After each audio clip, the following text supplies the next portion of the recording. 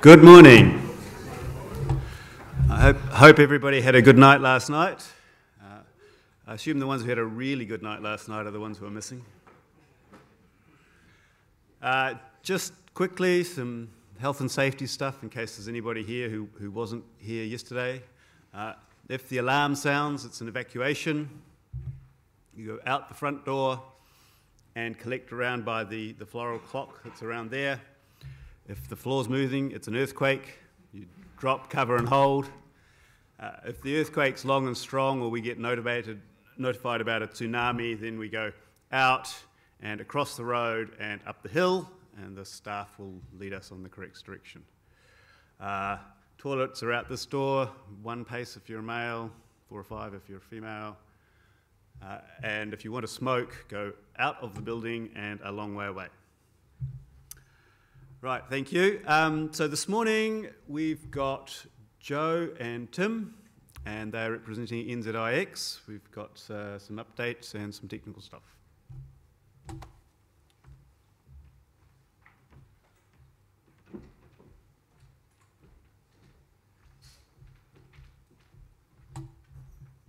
That's not the one we want. You want to do the needful? The other deck. Wrong deck. Uh, no. Should we convert it over quickly?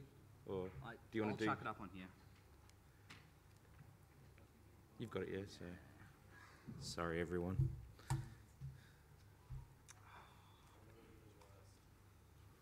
Hey, it's not Cool, my fault. you. I uploaded it. I did what I needed to do. so, I did.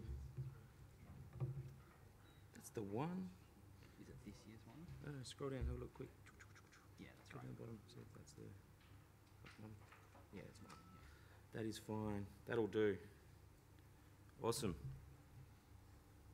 Excellent. Good morning. Um, so I'm going to be really quick. Tim's got some cooler things to talk about. I've got an update on uh, NZIX and kind of who we are, traffic, you know, over the last 12 months, that kind of stuff. Um, so let's go to that slide. Um, so uh, AKLX was uh, started in 2014 by uh, IA. Um, we had a bunch of peers over in Sydney who said, the IX landscape in New Zealand kind of sucks. Can you help us out? So we did. Um, and our, our whole idea was to uh, kind of make it like a sister association over here and let you guys do your thing. So we did. And that got uh, registered in 2016, just before Apricot, I believe, which was perfect timing. Um, so, yeah, basically, we, we run, NZIX runs Auckland IX. Uh, we're kind of here to do good things for you guys. Um, if there's any other things that probably aren't IX related stuff, I'm sure they'll listen to you and, you know, try and help you out where they can. So this is our usage. So as you can see, it's a pretty big growth uh, spurt. So yeah, massive. Um, 63 peers last year, so we're up to 79, almost just over 80 now, I think, as of this year. Um, so the growth is pretty good. And the prefixes, oh, sorry, I did a thing. Technology, love it. Um, come on. So anyway, um, there was a massive spike in prefixes, and you can thank Walt for that. Thank you, Walt. That uh, big spike there is Hurricane when they turned on. So we went from about 8,000 V4 to a lot, um, which is pretty good. Next one. That's our traffic. So it kind of grew a little bit, which is not too bad. 39, 39 gig last year, or 2017, to 71 gig peak over 2018. It's quite an impressive growth, so I think so, maybe. Um, this is a good one. So we have two route servers. Those people aren't on it. Please get on it. If you don't know the details, email us. We sent out like a million emails about it, and you guys need to do the needful. So please do it. Details there too. What are we doing? So, uh, Auckland IX is currently in three sites, um, and we plan to connect them up in a ring because at the moment it isn't, and we kind of need that resilience. So that's number one priority for us this year. Um, and hopefully we'll have a few new sites coming up. And um, you know, if you've got any ideas about data centers in Auckland that we should pop in, let us know because we'll do whatever we need to do to get more people connected. Um, apart from that, we're looking at a couple other places. Um, Welly is probably on our list, and Christchurch was our really big interest. So I think we're going to push that pretty hard. Hopefully this year, Dave. going to nod? Yeah, yeah. Wicked. Um, so if you've got any other ideas of anywhere else we can go, let us know because we're more than happy to investigate pretty much anywhere that makes sense for you folks. Um, that's about an update on the ARC side of things here in uh, New Zealand. I'll hand you over to Tim, who's going to have a chat about flows and some cooler things, I think. So thanks for your time.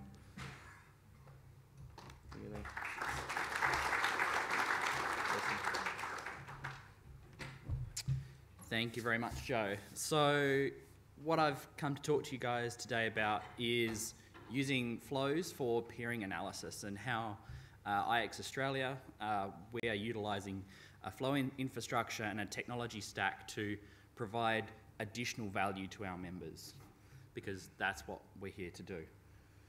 Uh, brief introduction. Um, IX Australia, or the Internet Association of Australia, as the, the entity, uh, member, member owned not for profit association, um, and we run IXs around Australia. Uh, we have some statistics on peers and ports, and we're a reasonable sized IX. So, this gives us an interesting network to attempt to use new technologies and processes to pull additional insights out of. Most of you should know about flow uh, technologies. They go a step further than your SNMP counters and, and uh, broadcast packets bytes, and they allow us to pull new information to derive new insights. And for uh, smaller networks, often that's harder or more resource intensive to go that extra step, whether it be financial resources to pick up a platform, an uh, off the shelf platform to do the analysis, or to build something yourself. Um, when I talk about flow technologies in terms of sampling technology, so NetFlow, SFlow, IPFix, it, it doesn't really matter in this case. Um, the technology stack I'm presenting today is SFlow driven. That's just easiest to do in hardware for our particular vendor. So um, the same concepts and technology I'm talking about uh, can apply to any flow technologies. So as I mentioned, the uh, motivation behind this is for us to derive new value. So we've got metrics.ix.asn.au and similarly for NZ, metrics.ix.nz. So you can go onto that, it's, it's Grafana. You can log into Grafana, see your port speeds and your traffic, and see any other members that have opted to have it, that have uh, not opted out of having it there. Um, with flows, we can take it a step further. We can provide people a breakdown of their traffic to other members and show them where they're getting value from the IX and where they could potentially be um, getting more value. And it allows, yeah, the, the breakdown of multilateral versus bilateral versus VLLs, so the, the point-to-point um, virtual lease line product we have. And of course, the content consumption. So part of the value we provide is um, IAA peers onto our own fabrics with uh, content distributors. We host caches, and for smaller networks, getting uh, better uh, connectivity to um, streaming video content uh, can provide a lot of benefit. So the challenges for building a flow infrastructure for us, um, the scale is one thing, so not necessarily the traffic volume, but as much as it's a distributed network. We're all around Australia. We have 35 plus sites, so that's at least one device in every site. Sites are mostly interconnected. Um, most are in uh, rings, as we spoke about for New Zealand IX. That's the desired uh, architecture. So we need a um, technology stack and structure that will allow us to work with that distributed nature. So the, the key points here are scale, transport, enrichment, storage, and analysis. And I'll step through each of these and discuss how we approached it and the solution we've come to and how it's worked for us. So collecting at scale, as I said, uh, 45 plus devices over 35 locations, uh, producing SFlow data that varies based on the packets per second and your sampling rate and what your hardware is capable of. So we've got to collect this data to start with. Um, for those not familiar, S-Flow is a sampled technology. So an S-Flow packet would be sort of 1500-ish bytes. The typical size is about 1360. Um, you get the packet header and then, or you get the, the summary, you get the S-Flow header plus summaries of the packets that it has sampled. So you usually get a full header. So in our case, it's uh, the n tuple of MPLS, VLAN, uh, and IPv4 packet headers. So there's a bunch of information there that you can use. We're not talking about full packet captures. Um, there's, there's no point uh, for us. The, that kind of value is best done on the peers side of the fabric. We're just looking at the communication between our members and, and in what form that takes. So the easiest way in this case is to collect closest to the source. There's a bunch of benefits in that. Uh, it, inter-site bandwidth you save on, sure, this is trivial, trivial amounts, but you want to remove your dependencies on pushing packets between sites. So the, cl the closest you can collect to the S-Flow source, um, it just provides an easier pathway to collecting that data. So in our case, uh, given each IX is an island and they're connected in a ring topology, it makes sense to collect per IX because I've always got a redundant path back to the collector and I'm not having to push flows interstate 40 milliseconds away. In terms of the technology choice, uh, pmacct is a very well known uh, S-Flow, NetFlow, IPFix, uh, PCAP uh, ingest uh, binary. Uh, it's built on C++, I think. So really fast, uh, portable, easy to deploy, and it has lots and lots of knobs and dials. So in our case, each of the IX is pushed to an instance of that collector. That collector could be hosted at any site. You could have two collectors if you wanted to have diverse collection, if, if it was important enough to you, just push your flows to two instances on two sites. You've got very flexible options. In terms of how pmacct operates, uh, you can build aggregates on in, within the binary. So it collects the S-flow data, it can aggregate that for you. So our initial aggregation is across the layer two. So we want to see Mac to Mac flows or port to port flows so that we can say, oh, this port is talking to that port and we have that summary information. We also do a breakdown by VLAN tag so we can identify VLLs on a port as well as the ether type. So that's a V4, V6 split. So once you've collected your flows, you've then got to push them somewhere to store them and to analyze them. Transport gives you an opportunity of building this stack into a pipeline. So you want to write it to a database of some sort. I'll talk about that storage technology a bit later. But you've got to get it somewhere first. And this provides um, an op opportunity to mitigate network disruptions and provide some redundancy. In terms of uh, mitigation, mitigating network interruptions, a client-side buffer or a collector-side buffer is a good way to go about it. Um, if you were here at NZNOG last year, I spoke about the metrics collecting um, that we do for SNMP. Same deal, a little ring buffer that can, that can fill up and just retry on send to wherever you're sending it to. Uh, in this case, pmacct has a built-in buffer, so you allocate a slice of memory and it's able to buffer up your flows and do retries to whatever your transport technology is.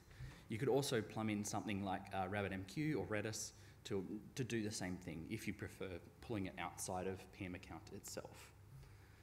In terms of actually transporting it, we want the ensure write once actually to a central database. Um, if I say ensure write once, a lot of people will instantly think Kafka because it's a bus technology. It allows you to have topics of information and uh, publish and subscribe to that as your consumers or uh, data producers um, uh, uh, want to. So that's where we start plumbing in the buffer and transport. So uh, pmacct has Kafka uh, capabilities built straight in. It'll pull out of its buffer or off a RabbitMQ buffer and push onto Kafka. So in terms of Kafka, uh, it's topic based. So flows get turned into a, a JSON representation. Uh, native, JSON is native, native to Kafka. You can put it onto a topic, and then that data can be subscribed somewhere else down along the line to be collected. In this case, if there are because there's a central database sucking in the data from the other side, uh, you have the opportunity, or you have the possibility that there could be a network disruption. If uh, there's a network disruption between the um, consumer and the producer, the buffer simply starts buffering up. The topic goes, uh, the topic sort of stops producing data, and you wait until the network is restored. A retry happens, and the data appears back on the buff, uh, back on the back on the bus. So this works really well for even rebooting your database. So if you need to restart or upgrade your database, flows will buffer up at one end and they'll appear when your database is back online and receiving flows. It also gives you the opportunity to enrich the data. So as I said, building a pipeline with technologies like this give you opportunities to, to do things between collecting and storing. So uh, in our case, we want to know who or which member a flow belongs to, or where did it come from, where's it going to. So from MAC address information, port information that is um, available in the SFlow sample, we can then do lookups against our operational state database, add information to the JSON data structure that's on the bus, which can then be stored into the database. Uh, if we were collecting uh, layer 3 information, for example, the source destination IPs, you could also then do BGP lookups and determine prefixes and ASNs and, and a whole bunch of other information. Just by building this pipeline, you get the opportunity to do that stuff in the future. Um, add a new topic. Actually, yeah, here we go. That's the diagram I wanted. Uh, data comes in on the, the topic at the top. You have some sort of enrichment binary. All it does is it pulls data off one bus, makes a call out to resolve that information or perform some transformation on the data, and then it publishes back to the next, the next topic. And you can chain these together. So I want to look up this member, and then I want to do an IP lookup, and then I want to do this and this and this, and you can you can structure that all together so that the data then flows out the end in its trans, final transformation. So storage. Flow data has the potential to be uh, fairly heavy in terms of the storage requirement. Um, definitely not PCAP level, but uh, when you start looking at the quantity you're collecting and the dimensionality of the data, it can, it can get a bit um, large. So there's a few things you want to be able to look at. If you're storing a large dimension of data, it's usually because you want to be able to perform analysis on those dimensions. So now you're talking about a lookup and indexing problem, um, and you need to ensure the technology chosen is right for what you're, the types of analysis you're likely to want to do. Um, fast query uh, for long-term and short-term data. So over flow data, you're less concerned about the last five or 10 minutes. You might be more interested in, show me the last seven days, the last 30 days, the last year. What has been the trend for this type of traffic? Or um, what's my growth pattern between uh, my AS and that AS, or my port and the set of ports? They're the kind of analysis uh, you're going to want to do. After evaluating a few technologies, um, MySQL slash Postgres, uh, InfluxDB, I landed on ClickHouse. Uh, Yandex is the uh, company that produces ClickHouse. ClickHouse is entirely open source. Uh, the way I describe it is Google does their Google Analytics uh, for the web. Yandex is also a web analytics company. So ClickHouse is designed to be a mass data storage for high, dimension, high dimensional, highly dimensional uh, event data. So think HTTP uh, logs. So that it, it, works really well. It's uh, it has it's a columnar database. So for those um, interested, instead of storing rows in a file, it stores columns in a file. So it makes performing operations across large sets of data much faster, particularly for the type of analysis you'd want to do with flow samples. Uh, it also has pluggable engines, which I'll get to in a moment. Um, these are just the summary of some of the points I came across with the, the three database technologies I looked at. Um, InfluxDB has recently increased their tag uh, dimension for what they feel is appropriate. I still don't feel that it's right for flow data. Once you start getting into very large um, dimensions, particularly around source destination IP port protocol, it, the tag index volume can blow out. So I just feel that ClickHouse is a better fit for this um, use case. The other major benefit that ClickHouse provides is that clustering and sharding support is in the open source version. So very easy to set up multiple nodes, shard, shard your database or databases across them, and it, it doesn't require any sort of commercial support like Influx does. So this is where we're at. Data is collected, buffered, published, and then ClickHouse has a driver where you can subscribe to a Kafka topic. It pulls the information off, reads it only once, and writes it to a database. There's, um, there's a few ways you could go about that, but the materialized views feature is very, very flexible in ClickHouse. If you're interested in the, the deeper technicals of that, their documentation is really, really good. Uh, so I mentioned the flexible storage engine and why that is particularly good for this use case. The merge tree family of storage engines means that collecting large volumes of data in small samples can be dealt with very effectively. So a summing merge tree allows you to collect events.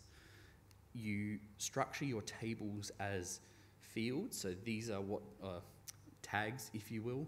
Um, that's not the terminology they use, but it's it's tags for the purpose of identifying a flow, and then you've got uh, fields or your values.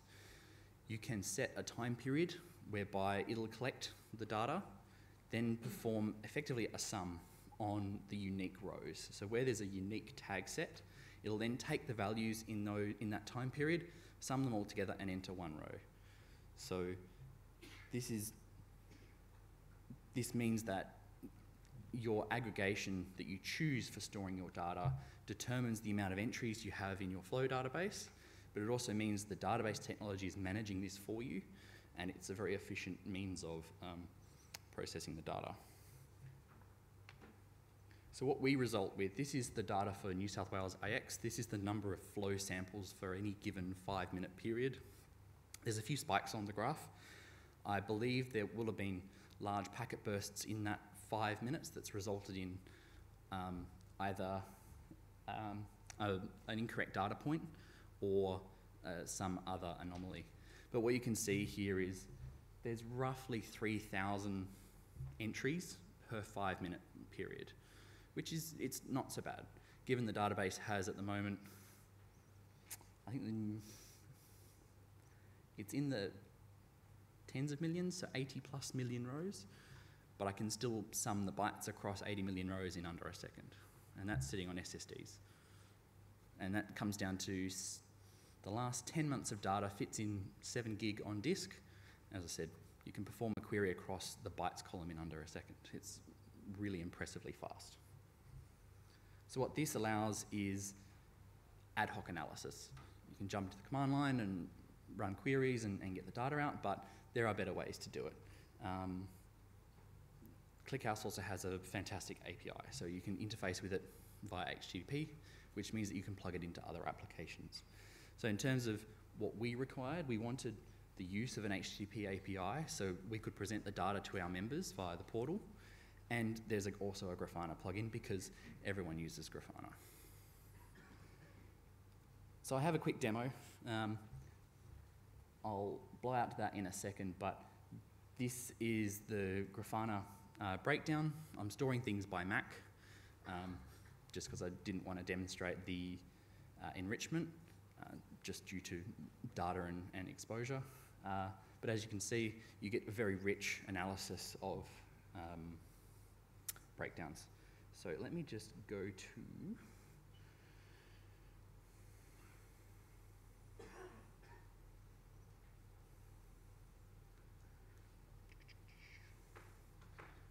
this isn't going to end well because I'm going to have to.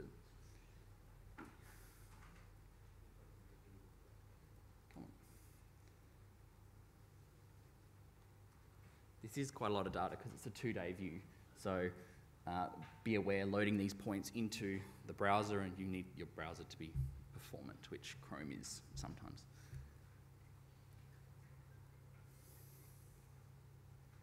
And so you can see we've got the breakdown per Mac we've got speeds and data volumes. So because you're collecting bytes over time, that can be very easily converted to bits per time, uh, bits over time to bits per second. Uh, and you can uh, perform these breakdowns. Uh, we've also because we're collecting the n-tuple data based on source, destination MAC address, and VLAN, you can, in the case of New Zealand data, because I've recently started collecting the flow data for New Zealand with the similar architecture, you can see the ether type breakdown for V4 versus V6, as well as uh, start doing other analysis for our internal purposes. So because we have three sites that aren't connected in a ring, uh, if you wanted to add another side to the ring and shorten the path between two sites, it might be interesting to know exactly how much traffic might flow on that path. So the question is, how much traffic flows between site A and site C given they're connected by site B? Well, when you're collecting flow data, you can, you can do that analysis. So in this case, uh, Auckland 1 and Auckland 2 uh, peaks out at, at 5 gig in one direction. So, okay, that's fine. We could put a 10 gig leg on that site. Let's do 2 by 10 just to be sure. Uh, you can start to ask and answer some of those questions for um, doing analysis internally, but also we can then break down port traffic for members by VLAN so they can see VLL uh, traffic as well as the traffic to and from uh, other members' ports, which is where I will come back to the next point. So, who's logged into the New Zealand IX portal? Of the members here, who's actually logged into the portal? That's a few hands. That's a few hands.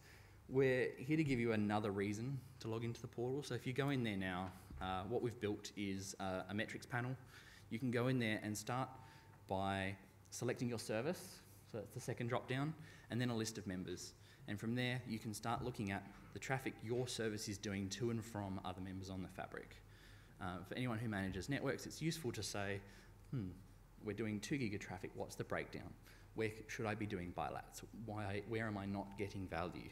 Um, so this becomes a very powerful tool for asking and answering those questions. We have a lot more planned coming to this panel, so I'd recommend you log in regularly and we'll be doing advertisements about the new features we add and, and change here. Uh, but it's a, it's a start to providing value to our members on the IX. And for anyone else in Australia, this will be being rolled out through all the other IXs in, in the next six to nine months. With regard to the portal consumption, the way we've wired this up, um, you log into the portal, that then hits a, a small service that basically pulls in the service data, makes the query to the database, processes the data, and returns it back to the, the front end. So it's, it's reasonably responsive. So I think a, a seven day view loads in under two seconds, which is uh, not bad for a database query, a transformation, enrichment, and return to the, the front end. So I wanted to just extend on this a little bit in my last few minutes. If we were to scale up the pipeline, say we're not talking 40 devices, we're talking 400 or 4,000 devices, how would I go about doing this differently? You either have more nodes, more flows, the, the increase in the, the flow data you receive based on the traffic in the device, it's not that too much of a problem. In terms of more flow producing nodes, that's where the scale becomes a new thing to manage. Um, more sparsely located nodes, say we're talking a global network. Um, say you need to process mirrors of traffic instead. How could you do this differently? So using uh, familiarity with a microservices or a containerized architecture, yes, I know I use buzzwords sometimes. If you're using white box switches, particularly those that have uh, a decent amount of resources on board, four cores, eight gigs of RAM, you can do a lot with. A lot of NOS vendors are now shipping their OS as a VM on this platform, so there's spare resources there for you to consume. And you've got an interconnect down to the switching fabric, be it at 10 or 100 gig. You can use this auxiliary VM function to drive your collector. So no longer a collector per IX per multiple devices, run small binaries to do the caching and buffering on box. Particularly if you're running a 10 gig down to the switching platform, that's fine for flow data export. If you've got a 100 gig interface, you could potentially processing, be processing full packet captures here as well. In terms of scaling up, this gives you a micromanagement per device, and that requires a slightly more global view. So with this auxiliary VM, if you treated that as, say, a Kubernetes node, you register a daemon set on box, and that can, at a very large scale, manage this architecture for you, including the networking to the ASIC uh, the networking within the VM, as well as the microservices or the containers running on box. So now you've got, from here, a bunch of nodes that are publishing onto a Kafka topic. So Kafka scales similarly. So you'd have a clustered, a centralized uh, Kafka cluster that all your network devices are reporting their aggregated flows down to. So no longer are you reporting a few megabits per device per 10 gig. You're now just reporting the aggregated JSON flows. And that can obviously be compressed as well. This is how I'd scale it up given a white box network with that distributed resource. Um, it seems like a fairly nice solution uh, to me, but I'm open to questions and criticisms and, and ideas from people because this has been a developing solution for us. It seems to work, it produces results. Um, I ask you to log into the portal if you have access, check it out, send me an email if you find anything broken or wrong or something you particularly want out of it. We're here to provide our members extra value and we're always open to suggestions. Any questions at all? Or is it a bit early in the morning? Too deep, too early? Ego's always there for a question. I, I am, yeah, I, I actually do um, kind of similar things with Kafka, and it's the Mm. questions. Actually, a question, not a question, and maybe like you know, interesting discussion. Um, Yandex ClickHouse, and you missed the D in, in your slides. It's, it's Yandex. It's Yandex, it's Yandex, yeah. Anyway, uh, that's the minor thing. Um, so, have you looked into Elasticsearch versus Cli- um, ClickHouse? That's the you know kind of main thing. I've been using Elasticsearch for the similar purposes for some time, and Yep. Um, yes, in that I have a separate use case for uh, Elasticsearch. Uh, the downside I find of Elasticsearch is very operational heavy, um, particularly when you start scaling out to multiple nodes. Um, I don't particularly enjoy poking around in it when it breaks and wondering when it's going to break and, and managing shards and dealing with the life cycle and all that kind of thing. I, as far as my experience, ClickHouse has been very set up and go so far. It, it, it doesn't seem as heavy as Elasticsearch, though I know Elasticsearch provides a, your basic n-dimensional um, ability to do queries on just about anything. Um, for this use case, I'm happy to work within the constraints that ClickHouse gives in that case. Cool. Re- really cool talk. Um, Thanks. question: Did you look at Prometheus and Prometheus's time series version two database with Thanos and Sidecar because that just allows you to use any object storage anywhere? Correct. Yeah. So that uh, hit my radar after I was down this path. Um, in terms of Prometheus, the time series database in itself is impressive. They've come a very, very long way. I'd like to proof of concept flows into it. I haven't seen anyone publish that as yet.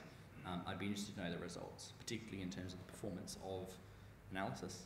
However, ClickHouse has um, you can store a lot of data and do very, very fast analysis. Any more questions?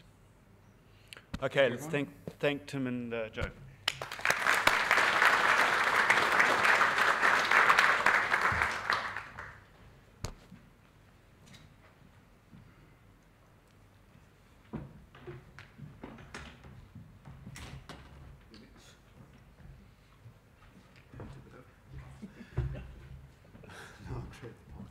Um, okay, so now we've got a couple of uh, DNS talks, and we're going to start with New Zealand's Mr. DNS, uh, Sebastian Castro from uh, Internet NZ.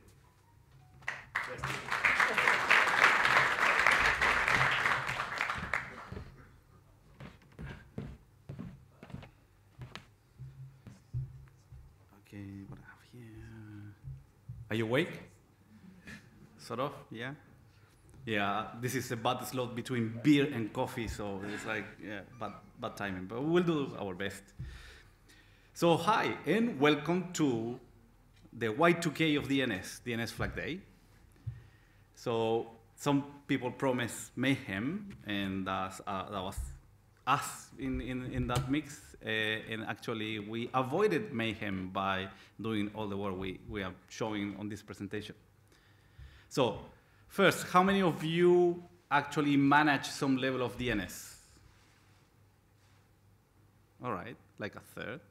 So, how many of you have heard of, haven't heard of DNS Flag Day? Uh, a, couple, a couple on the back. Okay, so this presentation is for you. So, so I'm going to go and cover why there is a DNS flag day, what was intention, and a little bit back on because you're network engineers, you like packets and you like diagrams and and tests and stuff like that.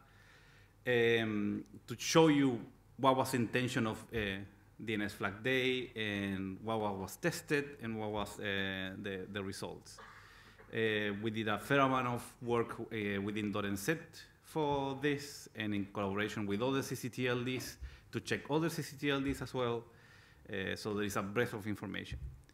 So the eDNS extension comes, was originally written and published in 1999, so has 20 years. And it was refreshed and readjusted in 2013. So basically we're trying to fix a problem that was sort of fix a problem that was introduced 20 years ago. So that's in the age of internet feels really strange. Oh, you really have to go and wait 20 years to go and fix it. So the eDNS specification provides a backwards compatible uh, adjustment to the uh, DNS in order to go and signal new uh, options. Uh, response codes uh, allow uh, responses larger than 512 bytes and some other goodies. So if you're not into DNS every single day, you might find that eDNS is actually being used for NSID. So um, are you familiar with Anycast DNS? Yeah? It is familiar. I don't know why you're familiar with the Anycast DNS. So NSID RFC 5001 is for name server identification. So if you are querying uh, Anycast DNS, you can find exactly which instance is, is answering you. eDNS is used for DNSSEC. Maybe you've heard about DNSSEC. Maybe Jeff, Jeff knows something about DNSSEC. In the uh, it's used for client subnet that is actually used by CDN. So the guys from Cloudflare can tell you about uh, client subnet. It's used by Keep Alive, by uh, cookies, which is a, a, at the moment an IETF draft for a security mechanism, and there are more to come.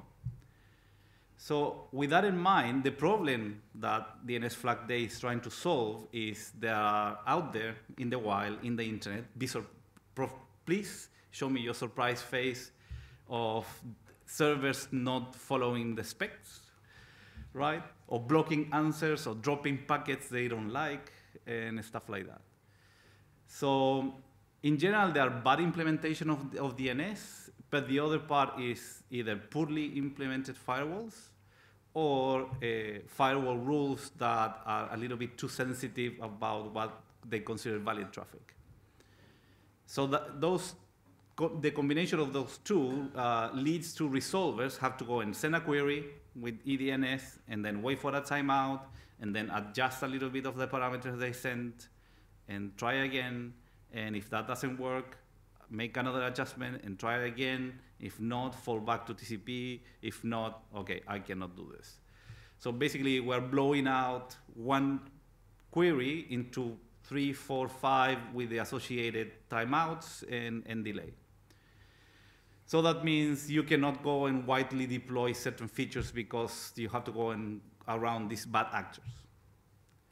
So with that in mind, DNS Flag Day was decided by the open source DNS implementations out there. And they decided we're going to remove those work workarounds, those pieces of code that do the, the timeout. So this is ISC uh, in their product bind. Um, NL Labs with Unbound, uh, Power DNS with the Power DNS recursor, and Knot DNS with the uh, Knot DNS. So Knot DNS is actually written by the, the top level domain for Czech Republic. And the release of new version is actually happening tomorrow, tomorrow UTC time. Uh, and with the workarounds removed. But that was the origin of the, of the day, but in, in between the announcement, which was around April last year, maybe before that, they gained support from Google DNS, Cloudflare, Quad9, Cisco, and Facebook. So what it was expected to be a really slow transition, usually the, the expectation is new versions will be rolled out between one and three months. Um, Cloudflare said, yeah, we're going to do this and going to start rolling out the changes slowly starting from today. Quad 9, um, they mentioned they will likely to do a slow rollout, uh, but Google DNS actually made the announcement a couple of days ago saying we're going to roll out this immediately and it won't take longer than one week. One or two weeks depending on the on the results.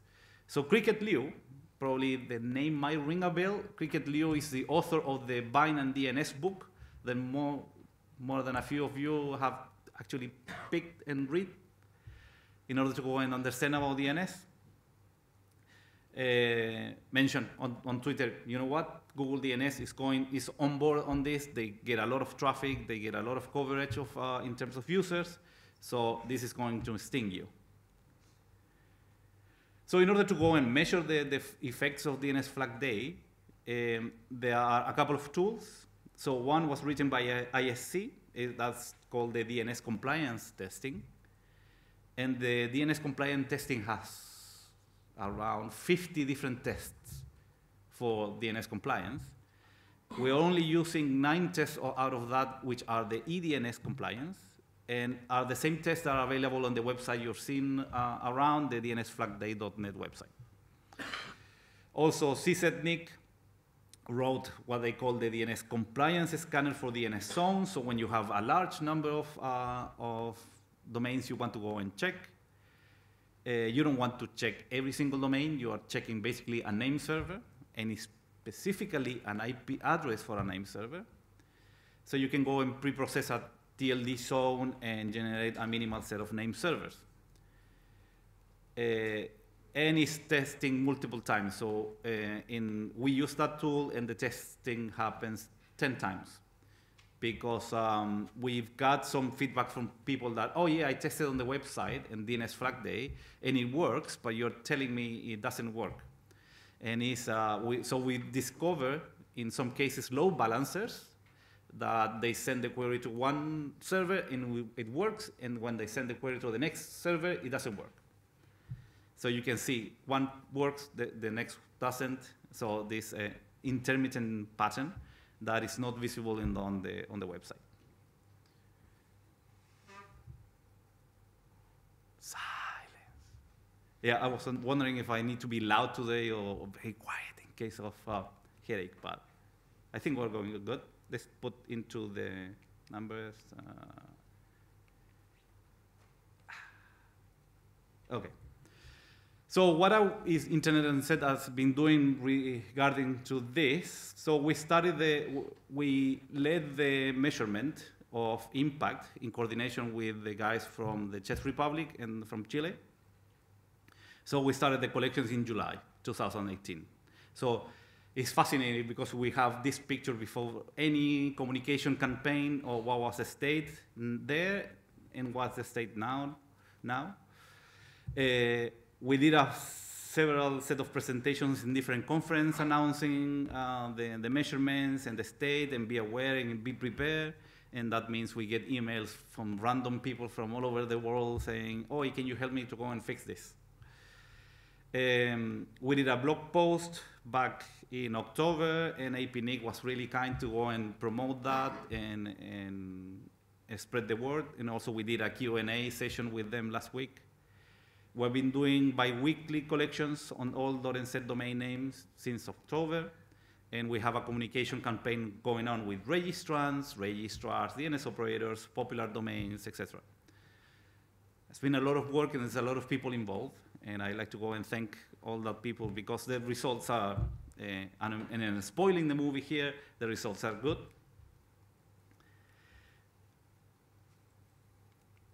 There. So if you want to go understand the, the, the, test, there are nine tests, and these are sort of a, a flow chart of how different options are added to the DNS query and how uh, they go and change. So because it's an eDNS test, there, there's one path where you set the eDNS version to zero, and there is another path your, where you set the EDNS version to one. And you start testing different combinations. So with EDNS, if you use the DO bit, which is for DNSSEC, okay.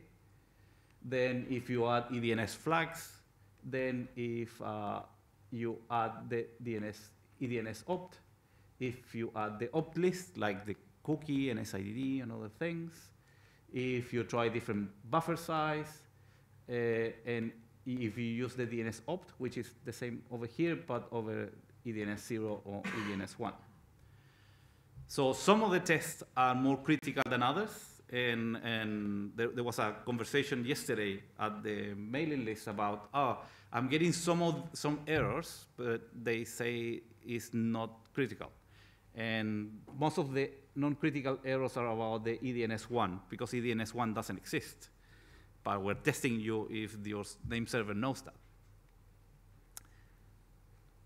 This clicker is doesn't like it needs to be on site. So, to give you an idea, back in July, uh, we were testing uh, around 25,000 addresses that correspond to 21,000 name servers, and in January uh, 25th, which was last Friday, we tested around 26,000 uh, addresses. So there is not a lot of variation on this, so the, it's, it's a good indication.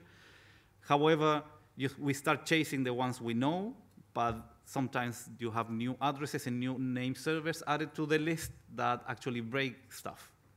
So uh, it's um, quite interesting. So favorite exercise for everyone, let's compare .NZ with others. So are, how well are we faring? So there, here there is data for CL, which is the CCTLD for Chile, uh, CZ for Czech Republic, and ZNU is uh, NUE, which is in charge of uh, the guys from Sweden. So Sweden, NUE, New Zealand, and the root zone. And this is the basic DNS test, so sending an SOA query. And you can see the root zone basically doesn't have any errors on that. And the CCTLDs are more or less in the same neighbor in terms of errors.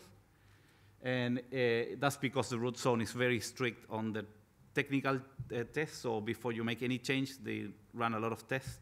So they make sure that everything is flawless. And you will see the, in this uh, other picture, which is the EDNS 0 against the EDNS 1 test, that the CCTLD have in the order of 90% okay, but the root is nearly 100%. So this is to give you an idea that uh, New Zealand, eh, compared to other CCTLDs, is not that different. And that was really interesting to find. So if we start comparing the results from July to uh, January, you can see on, the, on the different tests by name server, you can see a little bit of improvements, so half a percentage point, one point, two points, and the biggest improvements are in the E EDNS1 testing. So people that were failing the E EDNS1 test, now they're passing the E EDNS1 testing. Mainly because there were some device in the network that was misconfigured.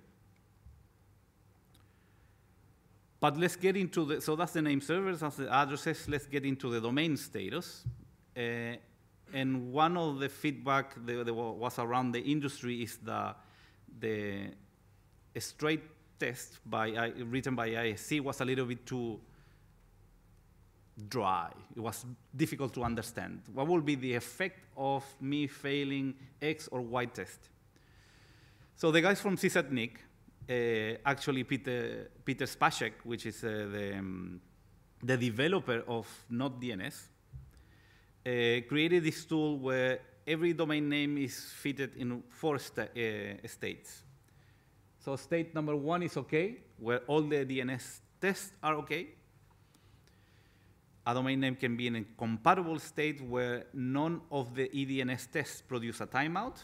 So they might return something slightly different from what is expected, but not a timeout.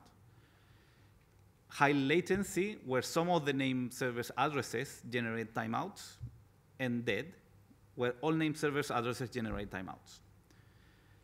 The high latency state is super interesting because we found some name servers that have 10 addresses and eight of them won't work, but two of them will. We found name servers that have IPv4 and IPv6 addresses, and the IPv6 addresses work, but IPv4 addresses don't, and the other way around. So there is a lot of combinations in, in there. And, and the rules that you will see are permissive. So permissive is how the DNS resolvers are working up to date, and strict how the resolvers will work when those workarounds are removed. So if we go back to the compliance analysis of these uh, CCTLDs involved, you can see a completely different picture.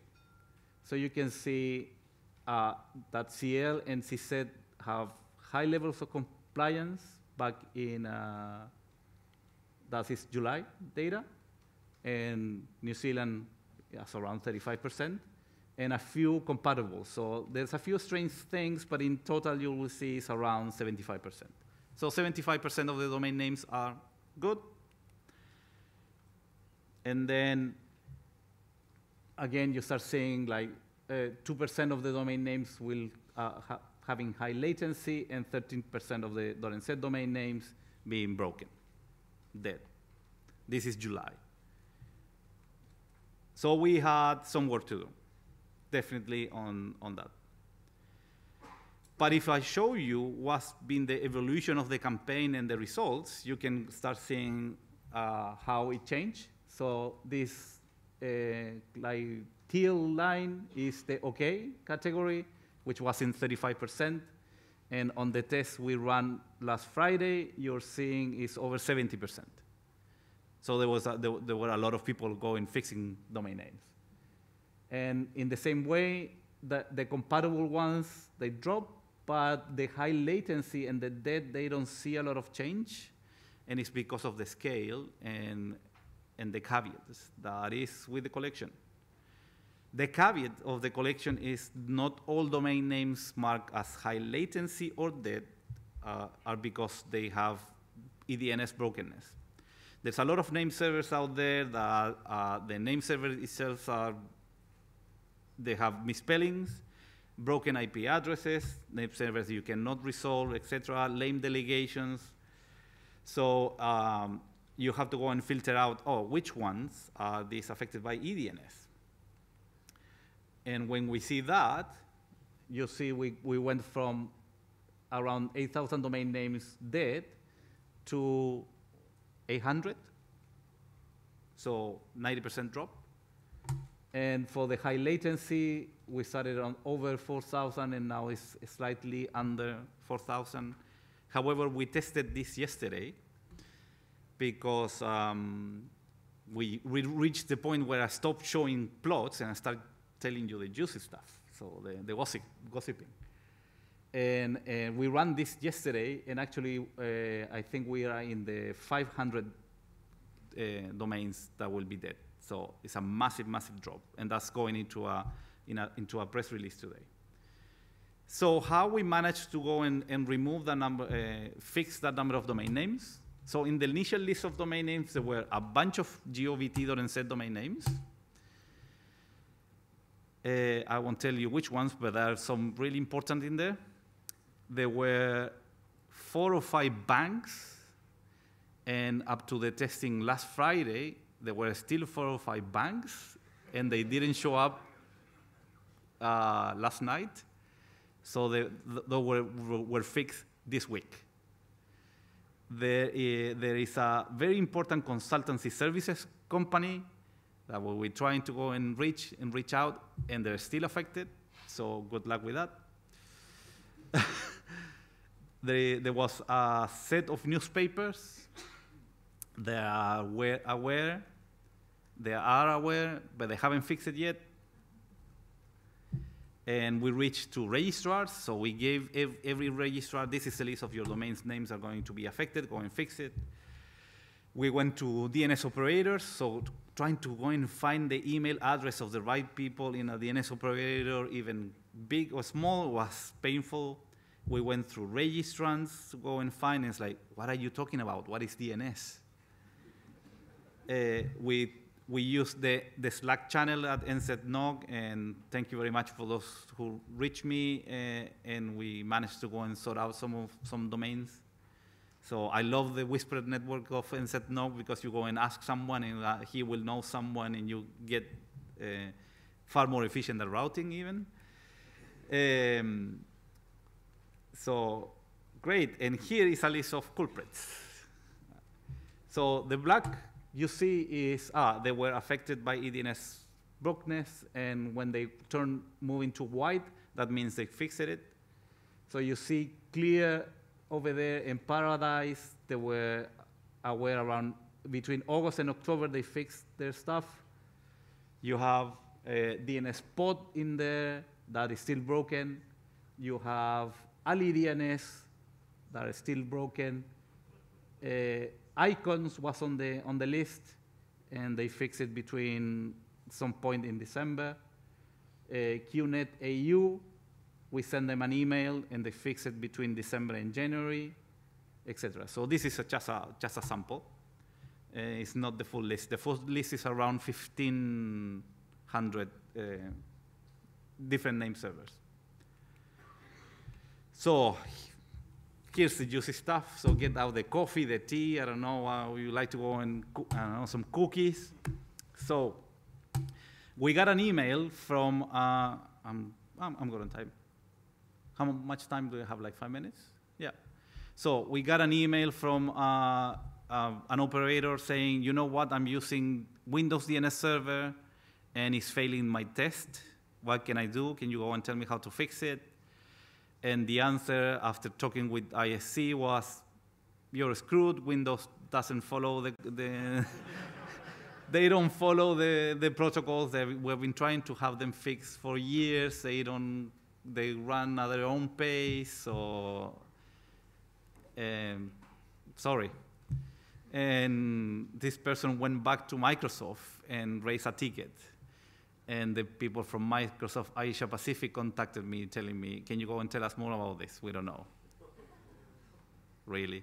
So we point them out to the right person in, in, the headquarters at Microsoft who's in charge of DNS. Uh, the large DNS resolvers rollover plan, so we start asking Cloudflare, Quad9, and Google have their own public announcement about how is was going to change because we were getting some resistance of people saying, you know, this is going to take months to fix, so we are not in a hurry. But when we started finding out that Cloudflare was planning to go and do a, a slow, sort of slow rollout in Quad9 and these bigger uh, DNS operators, it's like, you're going to get a sting on the same day. Be prepared. So that generated a sense of urgency. We have large authoritative DNS reaching us out. We got an email from Alibaba. They run the Ali DNS uh, saying, you know what, you're, you're telling me this test, I'm failing this test and I don't understand because I'm doing this interpretation of the standards. And then we have to go and prepare them a response of, you know what, the standards have been changing for the last four years so what you think is right is no longer right, and they say, oh, okay, okay, we'll, we'll try and fix it. So if we fix Ali DNS on that list, probably we get rid of all the broken domain names. There were some operators confused. Oh, we don't know what, what, what is DNS. We don't know how to fix it. Uh, can you tell us more? So we have to go through the process of um, sort of diagnosing with them, ah, this is failing because of this. We got an email from someone saying, you know, I'm using Bind 9.8 and I'm failing the test. And I went back and told them, you know, 9.8 was stopped being supported around 2016, so maybe it's time to go and do an update. Um, we got op uh, operators saying, you know, I, am using Infoblox or I'm using Nominum, I'm using this really modern and shiny device, but I'm still failing the test. And it's like, do you have a DPI firewall in front of it doing um, what's the name? So in Juniper, they call it the ALG, right? The ALG. And they said, mm, yes. Ah, so that's the reason. So if you go and fix, you go and check the documentation. And in between, uh, discover that some of the appliances from F5 were problematic, some of the appliances from Checkpoint were co uh, complicated, the, some of the Juniper, some of the options of Juniper were um, outdated, so fascinating. And we got an angry mail saying, I have 300 domain names, why you didn't tell me about this sooner? And it was like, we've tried to reach you in multiple ways. We're really sorry we couldn't reach you, but you run DNS services. It's part of, you should be kind of try to follow and trend what is going on. So, but we deactivated that. We have an awesome communication team. So, to finish, right on time, it was really hard to reach some right of the people, uh, the right people at some point, and we had conversations with DNC at the Domain Abuse Forum that we might follow up creating a DNS operator forum for New Zealand. So with, I don't know, someone is in trouble, they need help, they can go and reach the right people. Uh, I have to thank the team at Internet NZ and the NCL for this. So the comms team reaching out the right people, the channel mana manager, tech services, Brent was here and his team by, because basically it was at some point ringing every single domain name. Are you aware of this? You're going to break uh, starting from this day. This is sensitive. Please go and make, take action. And in the process, we set the example for other CCTLDs to follow. So um, some big CCTLDs, so the Australian, once we made the presentation, they started following up and doing their, their own testing. Uh, the Netherlands, uh, Brazil, uh, some other smaller CCTLDs in, in different regions. So um, there'll be some active work on this. So, gracias. Thank you very much. And uh, I guess we have some time for questions. I don't want to steal Daniel's time.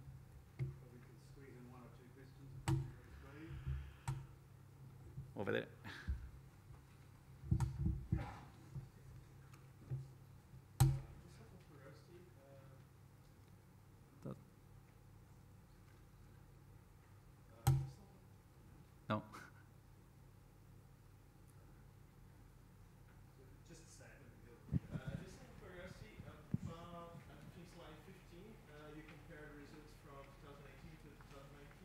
Yeah.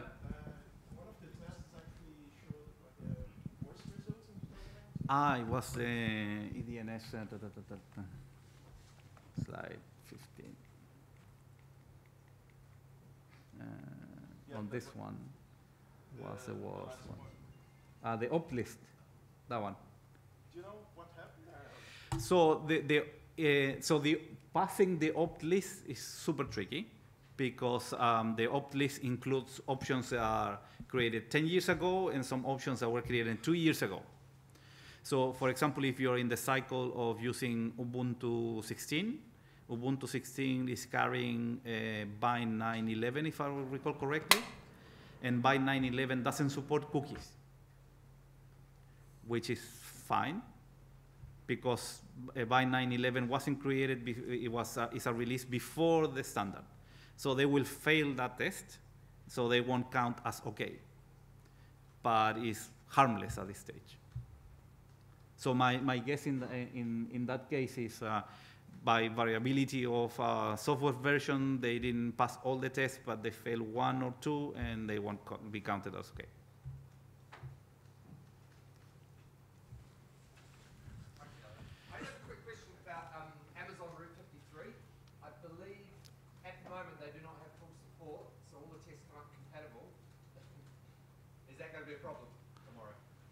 So the compatible uh, test is, is fine. It's not going to be a, a, problem.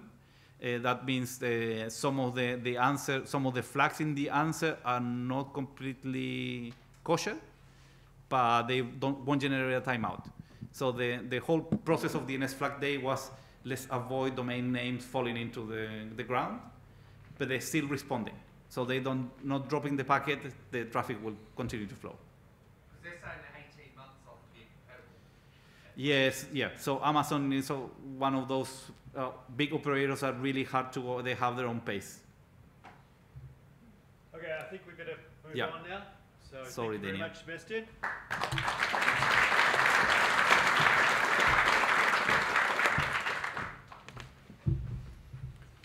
So uh, this is not only the DNS slot, it's also the Internet NZ slot. So now we have uh, Daniel, who's also going to talk about security.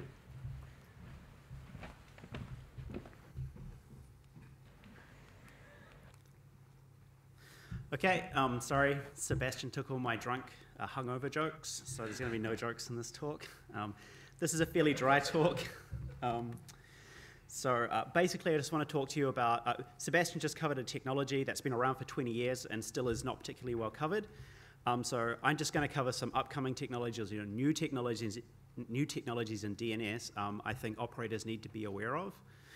Um, even if you don't think you're really a DNS operator, uh, it's required to get on the internet, so you're a DNS operator. Okay, so I'm just going to quickly do a, a refresher on, um, on the terminology so we just all understand each other. Okay, so over the last 30 years, DNS hasn't really changed architecturally in any way. The only changes to the specifications have just added um, features and abilities to it. Um, this is the sort of global um, simplified view of kind of what it looks like. Um, the stub resolver, uh, as we refer to it, is something you would see inside the operating system. Um, so uh, that could be like your web browser, could be glibc, um, could be stubby. Uh, I don't know what Windows uses, whatever garbage that is. Um, or macOS's um, uh, MDNS responder, which is pretty not great as well. Um, next one is the uh, caching forwarding server. Um, that's generally whatever crap your. Oh, sorry. I'll just cover what it does first. No. So uh, it basically takes requests from the stub resolver or whatever's uh, another caching forwarder below it, takes the question and literally just forwards it upstream. So it just takes the question, passes the question on, gets the answer, passes the answer back. Um, examples of that are whatever's running on your CPE modem at home. Um, so probably DN- dnsmasq. Um, Systemd resolved kind of does that. Stubby kind of does that. A more uh, localized version of a caching forwarding server. Um, and it's not uncommon to have layers of caching forwarding resolvers between you and um, a caching, uh, sorry, a, a recursive caching server. Okay, and so then we have the recaching, uh, recursive caching server. So this is a, a much more fully featured DNS server. So it goes out, does a, uh, and knows how to resolve a domain all the way from scratch um, by itself. And generally, this is at the ISP. Some of the enthusiasts among, among you may be running your own authoritative name service at home or whatever, um, but that's generally where that's located. Um, and some examples of that are things like Bind, Unbound, um, or PowerDNS or whatever.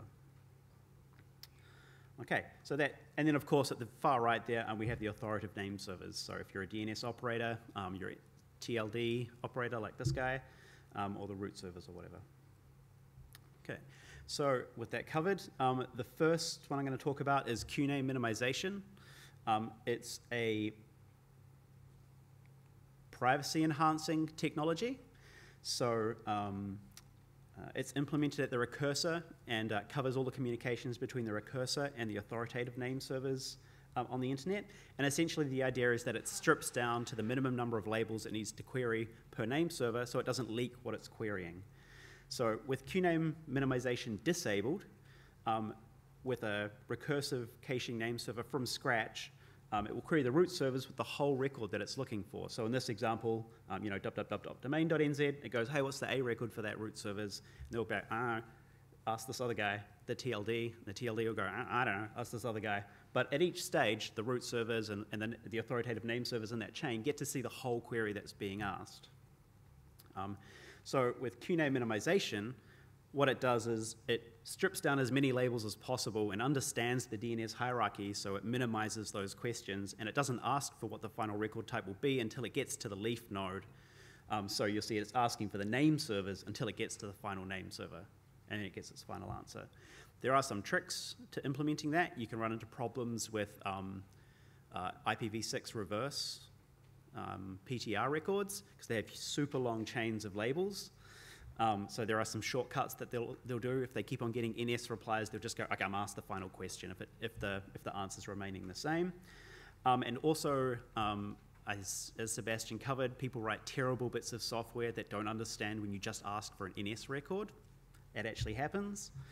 Um, so recursive name servers that implement this, um, Unbound, Knot, and um, Bind is coming soon. Um, okay, so certificate authority authorization. Has anybody actually heard of this? One guy? Two guys? So, or two, two people? Three people?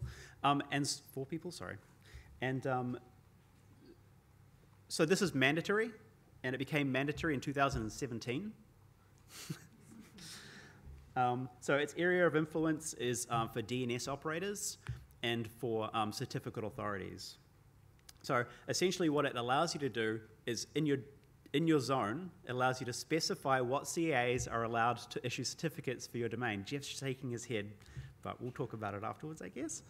Um, um, it essentially allows you to publish a list of CAs that are authorized to issue SSL certificates for your domain. Um, you can see here that it did become mandatory um, for CAs to validate before they issue a certificate that they're allowed to validate for your zone. Um, and you see here it became mandatory, and everybody, uh, we can see that traffic at our name servers, people querying for CAA records. Um, this is what it looks like. Jess put me way off now. no, you're fine. I'll get you back. okay, so um, this is what the records look like. Um, so you just put in um, uh, issue, and you're saying, Let's Encrypt is allowed to issue CAs for me. Um, you can also specify who's allowed to issue wildcards, and also you can specify a point of contact for security issues. So if a CA keeps on getting requests for signing certificates for your uh, domain, uh, and they're not authorized for it, they can report that to the point of contact if, if they so wish or for whatever reason. Um, and I had a, yeah, so that's pretty, pretty useful. And, oh yeah, that was another point, yeah. So this is not done in the browsers at any point. So the browsers never check these records, it's only implemented by the CAs, which is kind of useless.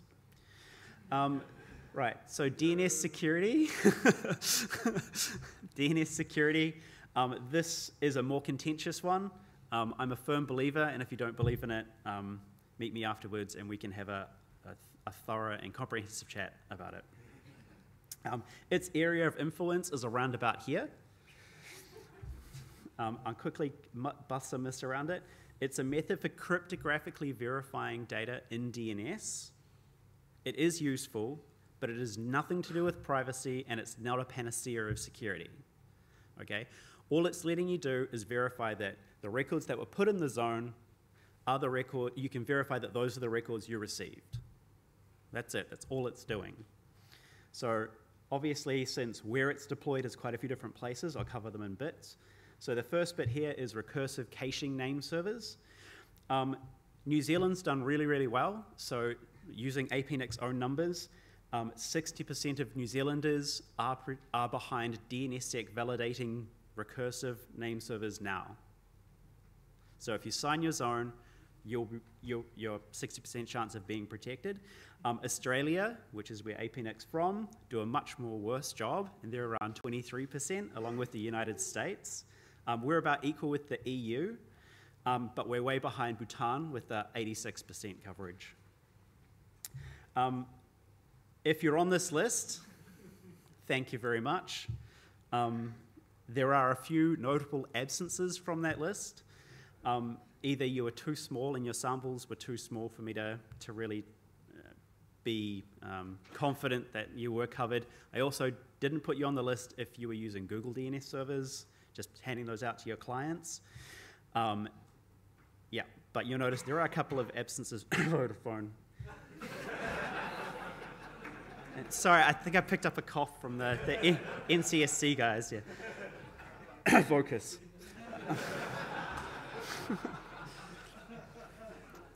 okay, so um, if you wanted to deploy um, validating recursive uh, name servers now, um, Microsoft has been supporting it since 2012, so you should feel bad. Um, Bind, everybody's been supporting it. Look, even dnsmasq has working support since last year. Um, yeah, so there's, there's no real reason not to be able to do it. Um, if you're running software that's older than that, that's your problem. okay. Um, the next step is uh, in the authoritative namespace. Um, so if you're operating DNS zones or signing zones, um, I think this is a space where uh, there's still a lot of inexperience with it. Um, so I think the software is getting a lot more bulletproof and quite solid. Um, but people just, they haven't signed a zone before. They don't know what to expect or what to look for when they're doing it or how to debug it. I think that's the biggest problem uh, in this space. In fact, this, uh, yeah, oh, I don't, yeah, okay, that's fine. Um, so if you want to do signing, there's a whole bunch of software. Um, Infoblox and um, Secure64 are just application boxes you can stick in your network and go, I got zones I need to sign, and they'll go ahead and do that. Um, Microsoft DNS um, actually supports like uh, supports it pretty well actually. It, they even support ECDSA, um, which is pretty excellent, and they've done that since 2012, and it's basically a tick box when you're setting up zones. Don't ask me how to do that. I just read one of those Stack Exchange articles that said it's pretty easy. Um, Okay, and so, uh, and so the final part of that is the stub resolver support, and to be honest, that's probably the weakest part of the ecosystem. Um, it's not as important as people make it out to be, because if you're behind a recursive caching name server, you get that protection anyway, and you can pass that on to your clients. Um, part of the problem with that is uh, your applications, uh, it's no way of signaling back to your applications that the records they've got have been validated in any way. And um, that's really one of the uh, main failing points of um, operating system developers. Um, they, the standards for doing that and the APIs for working within the operating system for passing that data back, just, I mean, there's, there's been some sort of half, half-baked solutions. They'll pass back like, oh yeah, I got an AD flag, so it must be fine, right? Like that's that sort of level of, of reporting back. Um, but that said, it is getting better. And um, so uh, the supporting clients at the moment are Windows 7 will actually do uh, understands validation. Um, Systemd ResolveD is a full validating um, DNS uh, DNS uh, stub stub resolver. Um, glibc is semi-aware, but it's not particularly good. And and then there's Stubby, which runs as a local um, name server. Um, but of course, uh, it can't pass back that validation data back to the clients. So um, yeah, Systemd seems to be on the right track, which it pains me to say. Okay, so the um, next technology, which kind of depends on DNSSEC, is aggressive NSEC caching. Um, Jeff's done some good work on that, and um, uh, APNIC actually funded some work um, from ISC to get that built in. Um, it's kind of in this area here. So it's implemented in caching, uh, recursive caching name servers um, and how it talks to authoritative name servers. Anybody here understand how NSEC works? Okay, yep, Jeff. Yep, okay, three people. Anybody understand how NSEC 3 works? okay, even less hands, but yep, it's about, it's about right. Um, and probably half, uh, including me, I still get confused about it and uh, need, to look, need to look up the RFCs every once in a while for some corner case. Um, essentially, what it is is uh, when you sign your zone, you have to prove that certain records don't exist. So what DNSSEC does, it creates records that say, from this record to this record, there's definitely nothing in the middle of it. So when you query it with your recursive name server, you'll get back, oh, for, for an existing record, you'll get back an NSEC record along with it. Or if the record doesn't exist, you get back that NSEC record. But then you can cache that record and say, well, I know nothing exists between here and here, so there's no point even asking the question. So it's great for performance. It's great for um, authoritative name servers because they don't have to worry about um, answering as many questions. Um, the root servers, this is one of the technologies they're looking to help out the root servers to reduce the amount of garbage that they see um, at the root as well. Um, so yeah, it's pretty good uh, in that respect. Um, so currently supported in uh, unbound, binds, and Knot resolver. yeah. Okay, so the next couple of technologies I'm going to cover are uh, a little bit of what keeps me up at night because these are a bit more problematic and something that's going to be affecting um, the uh, operators, network operators, and especially enterprise operators. Okay, So the first one is the least problematic of the two. That's DNS over TLS. So this is a privacy protecting. Whoa, that's not me.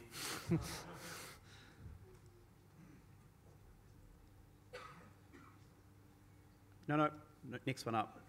Keep going up. No, no, more, more. Yeah, previous topic. Keep going up. Uh, yep, slide 37. Yep, perfect. Okay. Thanks. Okay, so, um, so this is a privacy protecting uh, protocol, and essentially what we're doing is we're just taking DNS packets and wrapping them in TLS, and that's it. Okay. Um, it's uh, standardized. It's running over port 853, um, so it's not going to be running over port 53, so you can tell um, that it's running on your network. Uh, configuration is just an IP address, so you can uh, opportunistically attempt to see if servers are running it. So if you receive name servers uh, via DHCP or whatever, you can just probe those servers to see if they, they're running um, DNS over TLS. And you can also configure it strictly and say, like, you, uh, the certificate must be validatable as well to make sure you're talking to the, to the name server you expected. Um, it, it, really is just DNS um, using TCP over TLS. Um, of course, um, validating certificates is still the hard part of it. Uh, in terms of support, Android 9 does it by default already. Um, if you want to run it on your local operating system for desktops um, or laptops or whatever, Stubby you can install, and Systemd Resolve D also now supports it as well, which also pains me to say they're actually doing a pretty good job at that sort of thing. Um, from the resolver side, uh, if you wanted to deploy it on your network, um, you've got Unbound, Knot, and uh, dnsdist. And if you check the dnsprivacy.org website, they have examples on how to configure Nginx and HAProxy to act as, act, act as front ends to just pass the queries through to um, other name servers. And of course, we have supporting cloud services such as Quad 1 and Quad 9. And it's interesting to note that DNS over TLS is supposed to be a privacy protecting uh, protocol, and, and Google's not on that list.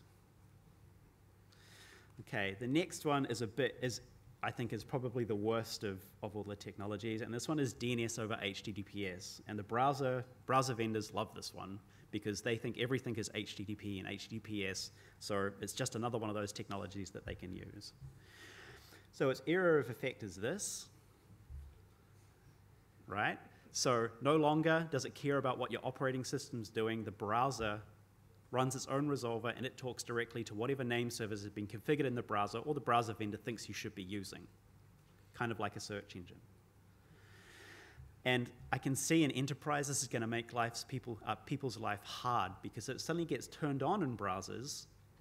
Like, uh, well, I can get to the website in my browser, but you know my application can't connect to it, or, or vice versa. Um, or one browser can get to it and the other browser can't get to it. Or I can't get to it anymore, I can't get to the internal websites anymore because I'm using a name server that's out in the cloud somewhere rather than the local resolver which knows about my local domains. Um, the bullet points are the features. Um, it basically turns DNS into a REST API. Um, the specification is essentially taking DNS packets, base 64 encoding them, and then pushing them over a REST API.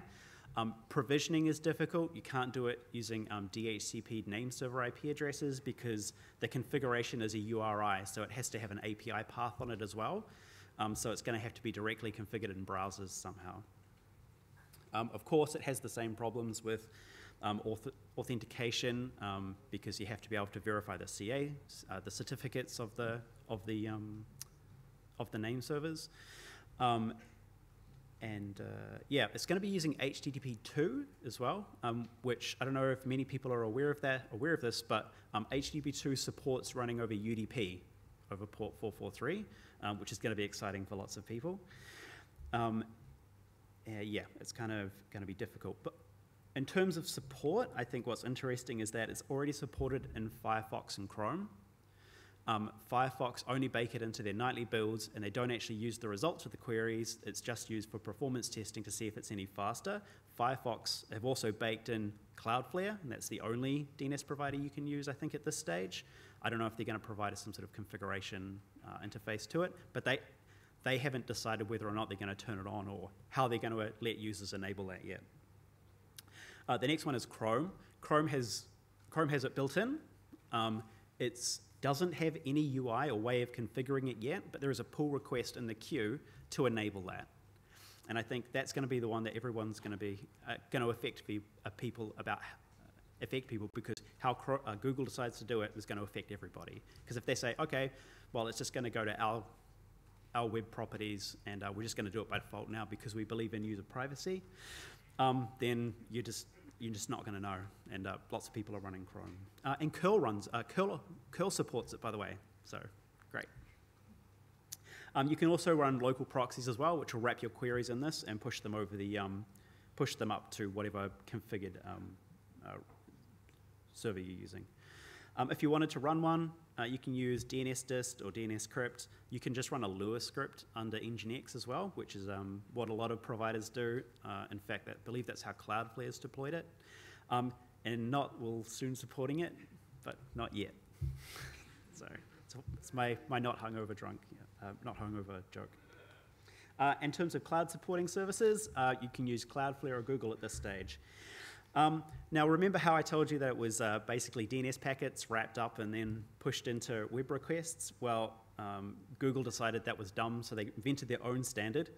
And uh, so now that's the same standard that Cloudflare uses, and it's not part of the specification how that works. It's just a JSON API, which is a lot more simpler and really probably what it should have been to start off with rather than trying to bundle binaries into uh, binary data into base 64. Um, yeah, so the browser vendors are implementing it because they see they don't think operating system developers care enough about user privacy, um, and they do care about user privacy. And of course, um, they believe, or at least they say, it's going to be a performance increase as well. Um, they can do tricky things if they know what domains you're going to via these requests. They also know what domains you're going to be going to uh, in parallel with that, whether it be advertising sites or you know wherever they load JavaScript from or whatever, they can push those results to the browser before you ask for it. So um, that's where they think they're going to get those performance gains out of it. And also with HTTP push, they can push results out even if they don't know where you're going and preload you with some IP addresses um, based on perhaps previous browsing patterns, which should scare you a little bit. Um, when I was, uh, I went to RIPE, to the RIPE conference um, over in Europe earlier last year, and they had some, uh, it was expressed by people in the audience whether or not a user could consent to turning on, um, uh, could, could, consent to turning on uh, DNS over HTTPS because consent requires that the user understands the implications of their actions. And so there was a bit of a tussle there uh, in the EU because there were some American providers who were saying, look, we really care about your privacy. You should definitely trust us with it. and uh, someone in the EU stepped up and said, look, I, I know what you know, the policy is for my local provider because we have legal protections you know, in, in Europe. And they were, you know, we're not totally stoked with an American company telling us how to do it. Okay, so Oh man, okay, I'm running slightly long, but that's all right. So, what are the conclusions? Um, I know I've just talked to you about a whole bunch of different features that are super complicated and have a bunch of knobs and twiddles, but what should you be doing about it? Just maintain your network services, keep them patched and up to date. So, use modern DNS software. Stuff built in the last year is probably fine, but if you, you probably should be on top of the security patching anyway so you should be something, uh, running something new and you should have a patching schedule in place anyway, right? Turn on DNSSEC validation. In the immortal words of Shia LaBeouf, just do it. okay? Start thinking about user privacy because if you let the users come up with how they're going to implement privacy for themselves or you're going to let the browser vendors decide what privacy is for you, then that's what you're going to end up with unless you do something about it first. So maybe that's just having an answer when someone asks you the question. Maybe that's running DNS over TLS servers on your name servers. Um, but start thinking about it. I'm not saying I have the solution, but start thinking about it. Okay, were there any questions about that? Jeff?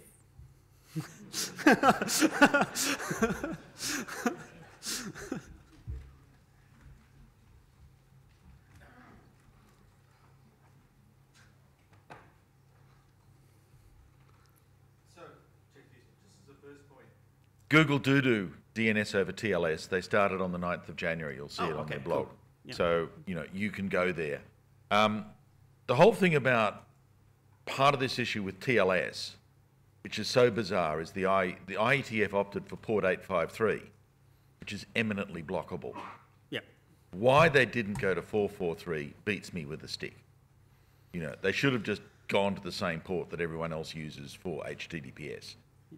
The thing that about DNS over HTTPS that really should keep you awake up all night and beyond is that if I preload an answer in HTTPS, that might not exist in the DNS itself. And I have just invented a new namespace and polluted your browser. There are no rules in browser land as to the domain of discourse of a downloaded name. So what if I download a fake name for dogoogle.com, a fake resolution? How does your browser know whether I'm lying or not? That's the bit that gets us all worried. Um, there are two parts to all of this. New Zealand's doing great, apart from Vodafone and Vocus, about DNSSEC. Because if you think about it, if you're going to trust the web PKI as being your only nature of trust on the internet, you're screwed every day of the year. Exactly. There's just no way around it. The only thing that's left is, is the DNS. DNSSEC is brilliant. It's really, really hard to fool it. But, as I said yesterday, and Internet NZ seem to be listening, the registrant registry relationship is critical. Because if I can weasel in there and do a false delegation, I am you, I own you, everyone's then screwed again. So DNSSEC is great, but it needs a lot more hardening in that delegation step in, in the administration of the DNS. Yeah. But nice talk, thanks. Thanks. Um, so yeah, just to, uh, a couple of points there. I, I think the reason they didn't choose 443 was because it's not HTTP, and the browser vendors would have got upset and said, "How dare you use our port for something that's not HTTP?" Which has a certain amount of irony in it, right? um, uh, what was your second thing? Oh yeah. Uh, oh yeah, something that is conspicuously absent from my from my talk was DANE. I don't know if you know about uh, DANE, which allows you to specify actual certificate fingerprints inside DNS for validation of browsers. That's something no browser currently supports. Chrome had it for a little while, but they removed it for performance reasons. Um, it also apparently somehow breaks their security model for how security works on the internet if you can specify server records, which um, I find that a little bit baffling. Um, in terms of Internet NZ, I probably can't say too much because I'm not a policy person, but certainly security around registrar and registries uh, is something we do think about quite seriously. Um, we have some ideas in the pipeline, um, and so next time we come out and say, hey guys, is there something you think we should be doing? Definitely come and talk to us about it, or come and talk to me here at the conference because we do have some ideas, and if we have support from the community, it makes it a lot easier to do. Cool. Any other comments or questions?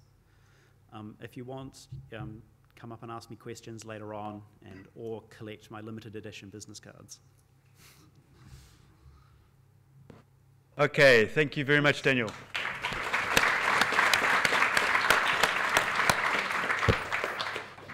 Okay, so that's morning tea. We've got half an hour, and we'll see you back here at 11.